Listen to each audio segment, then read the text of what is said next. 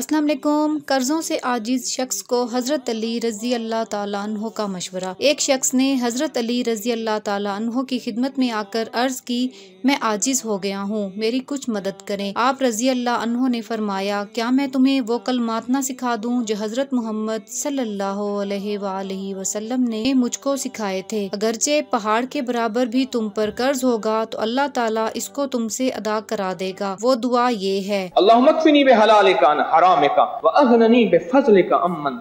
रोज़ाना नमाज़ मगरब के बाद अव्वल, आखिर तीन बार द्रुद शरीफ और सौ बार ये दुआ पढ़े इन ताला आपके तमाम मसाइल हल हो जाएँगे। सदका जारिया की नीयत ऐसी वीडियो को लाइक और शेयर कर दें। जजाक अल्लाह अल्लाह हाफिज।